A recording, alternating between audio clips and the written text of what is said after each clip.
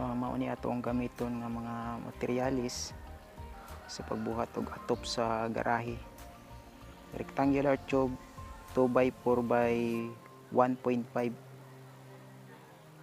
so baga. Mao ni atong silbi rafter.